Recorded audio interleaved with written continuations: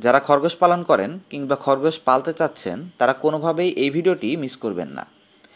কারণ সামান্য কয়েক মিনিটের এই ভিডিওটি আপনার খরগোশকে অনেক বড় বিপদ ও মৃত্যুর হাত থেকে বাঁচাতে পারে। গ্রোলাইফের এবার এপিসোডে আপনি জানবেন খরগোশকে কি কি খাওয়ানো যাবে না আর কোন খাবার উপাদানগুলো খরগোশকে অতিরিক্ত খাওয়ালে সেগুলো খরগোশের মৃত্যুর কারণ হতে পারে। তাই খরগোশ পালনের অতি গুরুত্বপূর্ণ এই ভিডিওটি না টেনে শেষ পর্যন্ত দেখতে থাকুন। এক নম্বরে অ্যালিউম ভেজিটেবল। অ্যালিউম ভেজিটেবল বলতে বোঝায় পেঁয়াজ ও রসুন জাতীয় গাছকে। পেঁয়াজ বা রসুন গাছ, এই সমস্ত গাছের পাতা, ছাল বাকল সব কিছুই খরগোশের জন্য ক্ষতিকর। উপকরণগুলো যদি খরগোশ খেয়ে ফেলে, তবে এগুলো সরাসরি খরগোশের লোহিত রক্তকণিকাকে ভেঙে ফেলে। বিজ্ঞানের ভাষায় এই সমস্যাটিকে বলা হয় হেমোলাইটিক অ্যানেমিয়া।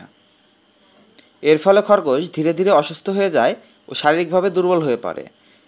এবং এই খাদ্যগুলো গ্রহণের মাত্রা যদি বেশি হয়ে যায়, সেক্ষেত্রে সঠিক সময়ে সঠিক চিকিৎসা না পেলে খরগোশগুলো মারা যায়। তাই সবসময় চেষ্টা করবেন খরগোশ যেন এই জিনিসগুলো ভুলেও খেতে না পারে। বিশেষ করে বাচ্চা খরগোশের মধ্যে কিন্তু অভ্যাস থাকে সব ধরনের খাবার খাওয়ার। বড় খরগোশগুলো ভালো মন্দ বুঝতে পারে, কিন্তু ছোট খরগোশগুলোর ক্ষেত্রে কোন খাবারটা ক্ষতিকর সেটা বোঝার ক্ষমতা অনেক কম থাকে। তাই বাচ্চা খরগোশ নিয়ে এই বিষয়গুলো নিয়ে আরও অনেক বেশি সচেতন আপনার থাকতে হবে। দুই নম্বরে আসে পাতাবাহার গাছের পাতা। আমরা অনেকেই বাসায় পাতাবাহার গাছ লাগিয়ে থাকি। কিন্তু পাতাবাহার গাছের পাতাগুলো দেখতে যতটা সুন্দর, এগুলো ঠিক ততটাই বিষাক্ত। এটা মানুষ, পাখি এবং খরগোশ প্রত্যেকের জন্যই সমানভাবে বিষাক্ত। খরগোশ পালন করলে অবশ্যই আপনাকে খেয়াল রাখতে হবে যেন ওরা পাতাবাহারের পাতা খেয়ে না ফেলে। খরগোশ যদি পাতাবাহারের গাছের পাতা খেয়ে ফেলে, তবে নিশ্চিতভাবে এরা অসুস্থ হয়ে পড়বে, ডায়রিয়া দেখা দেবে এবং অতিরিক্ত খাওয়ার ফলে মারাও যেতে পারে। তাই এই সবগুলো অ্যাভয়েড করতে হবে। তিন নম্বরে আসে আইসবার্গ লেটুস পাতা। সাধারণত খরগোশ লেটুস পাতা বেশ পছন্দ করে, কিন্তু লেটুসের মধ্যে আইসবার্গ লেটুস নামে এক প্রকারের লেটুস রয়েছে, যেটার পাতাতে ল্যাকটুকেরিয়াম নামে এক রকমের ক্ষতিকর কেমিক্যাল রয়েছে। প্রাপ্তবয়স্ক খরগোশ যদি এই লেটুসের পাতাগুলো খেয়ে ফেলে, তবে তারা ডায়রিয়াতে আক্রান্ত হবে এবং শারীরিকভাবে অনেক বেশি দুর্বল হয়ে পড়বে। আর যদি বাচ্চা খরগোশ ভুলে এই পাতাগুলো খেয়ে ফেলে, তবে মারা যাওয়ার সম্ভাবনা রয়েছে অনেক বেশি। তাই আপনি খরগোশকে যদি লেটুস পাতা খাওয়ান মাঝে মাঝে, তো লেটুস পাতা খাওয়ানোর নিয়ম হচ্ছে আপনি সপ্তাহে দুই একদিন কয়েকটা করে পাতা খরগোশকে খাওয়াতে পারেন, কিন্তু অতিরিক্ত খাওয়ানো যাবে না। তবে আইসবার্গ লেটুস পুরোপুরি নিষিদ্ধ। পরবর্তী যে উপাদানটা খরগোশের জন্য ডেঞ্জারাস সেটি হচ্ছে আলু গাছের পাতা। আলু গাছের পাতা এবং আলুর মধ্যে প্রচুর পরিমাণ স্টার্চ থাকে, যেটা হজম করা সত্যি খরগোশের জন্য অনেক বেশি কঠিন। যদিও এগুলোর মধ্যে কোনো বিষক্রিয়া নেই বা বিষাক্ত কিছু থাকে না, কিন্তু যদি হজম করতে না পারে, তবে এমন জিনিস খেয়ে খরগোশ শুধুমাত্র অসুস্থই হবে। এই জন্য খরগোশকে কখনোই খাবার হিসাবে আলু গাছের পাতা কিংবা আলু অথবা আলুর খোসা খেতে দিতে যাবেন না। একটু একটু আলু যদি কামড়ে খেয়ে ফেলে, তবেও কোনো সমস্যা হবে না। কিন্তু যদি এই বিষয়গুলো অতিরিক্ত হয়ে যায় বা অতিরিক্ত আলু অথবা অতিরিক্ত আলুর চোচা খেয়ে ফেলে, সেক্ষেত্রে কিন্তু ওরা এগুলো হজম করতে পারবে না, যার ফলে বদহজম হয়ে গ্যাস্ট্রিক হতে পারে, ডায়রিয়া হতে পারে বা খুব বেশি সমস্যা হলে কিন্তু খরগোশ অসুস্থ হয়ে যেতে পারে। তাই এগুলো অ্যাভয়েড করার চেষ্টা করবেন। পাঁচ নম্বরে বেকারির পণ্য, কুকি, কেক বা ড্রাই কেক। আপনি হয়তো হাতে একটা কুকিজ বা কেক নিয়ে খাচ্ছেন। এ অবস্থায় আপনি চিন্তা করলেন আপনার খরগোশটাকেও এক খণ্ড কেক দেওয়া যাক। যেটা খরগোশের জন্য ব্যাপক রকমের ক্ষতিকর। নর্মালি ময়দা দিয়ে তৈরি বিস্কিট বা সাধারণ টোস্ট খরগোশকে একটু একটু খেতে দিতে পারেন, এতে তেমন বেশি কোনো সমস্যা নেই। কিন্তু অতিরিক্ত সুগার ও কার্বোহাইড্রেট জাতীয় কেক, কুকিজ বা ড্রাই কেক জাতীয় মজাদার খাবারগুলো খরগোশের মধ্যে এক রকমের অসুস্থতা সৃষ্টি করে। এটাকে বলা হয় ইন্টেরোটক্সিমিয়া।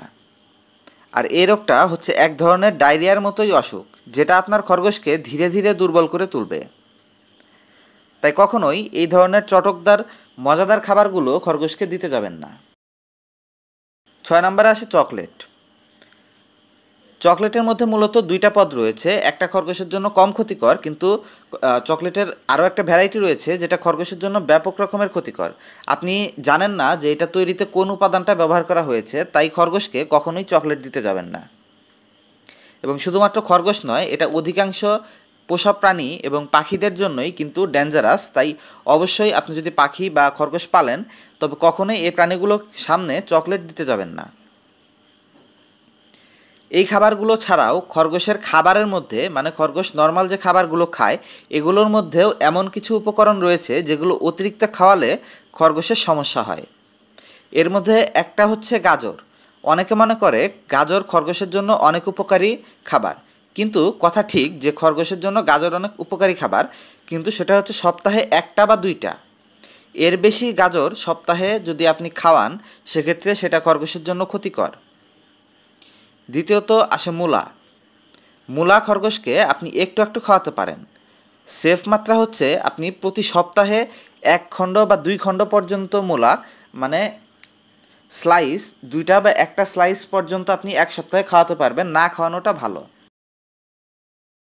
তো মূলা যদি আপনি বেশি খাইয়ে ফেলেন, সেক্ষেত্রে এটা খরগোশের বদহজম এবং খরগোশের প্রস্রাবটাকে সাদা করে তোলে এবং বেশিরভাগ সময় এটা ডায়রিয়ারও কারণ হয়। তাই এটা অবশ্যই অ্যাভয়েড করবেন। মূলত খরগোশের প্রধান খাবার হচ্ছে ঘাস। প্রতিদিন আনলিমিটেড ঘাস এদের সবচাইতে সেফ এবং সবচাইতে ভালো খাবার।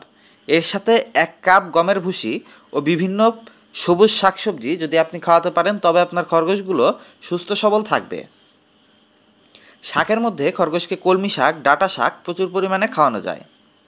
এছাড়া এরা মূলা শাকও খায় এবং মূলা শাকটাও আপনি বেশি করে খাওয়াতে পারবেন। তাছাড়া খরগোশ পাতাকপি, ব্রকলি এবং ফুলকপির পাতা বেশ পছন্দ করে খায়। কিন্তু এগুলোর মধ্যেও কিন্তু অতিরিক্ত খাওয়ানো যাবে না। পাতাকপি, ব্রকলি বা ফুলকপি এই ফুলকপির পাতা আর কি, এই উপকরণগুলো কিন্তু আপনি অতিরিক্ত পরিমাণে দিতে পারবেন না। এগুলোকে হয়তো আপনি একদিনের টোটাল খাবারের দশ বিশ পার্সেন্ট দিতে পারেন খাবার হিসেবে, ঘাস বা কলমি শাকের পাশাপাশি, কিন্তু এগুলোকে মেইন খাবার হিসেবে খাওয়ানো যাবে না। কমেন্টে অনেকে আমাকে প্রশ্ন করবেন যে, আমার খরগোশ তো পাতাকপি পছন্দ করে খায়, তবে বেশি বেশি খাওয়াবো না কেন? আবার অনেকে বলবেন, আমার খরগোশ তো পাট শাক খায়, তাহলে খাওয়ালে সমস্যা কোথায়? সমস্যা হচ্ছে খরগোশের সুস্থতা নিয়ে। কিছু গবেষণায় দেখা গেছে যে সমস্ত পোষা খরগোশকে সবসময় ঘাস খাওয়ানো হয়ে থাকে, এদের গড়ায়ু দশ থেকে বারো বছর। অন্যদিকে যেগুলোকে বিভিন্ন রকমের শাকসবজি ও পাতা খাইয়ে পালন করা হয়, এসব খরগোশের গড়ায়ু দুই থেকে তিন বছর হয়। তার মানে আপনার আদরের খরগোশটাকে আপনি যদি ঘাস এবং কলমি শাক এই ধরনের সেফ খাবারগুলোর মধ্যে রাখেন, সেক্ষেত্রে ওরা দশ বারো বছর পর্যন্ত বেঁচে থাকবে।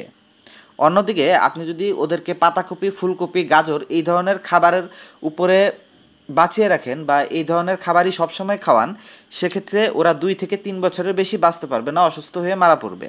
তাই অবশ্যই এই বিষয়গুলো মেনটেন করবেন। আর যারা খরগোশ পালন করেন, তাদের সবাইকে এই ভিডিওটি শেয়ার করে জানার সুযোগ করে দেওয়ার জন্য অনুরোধ রইল।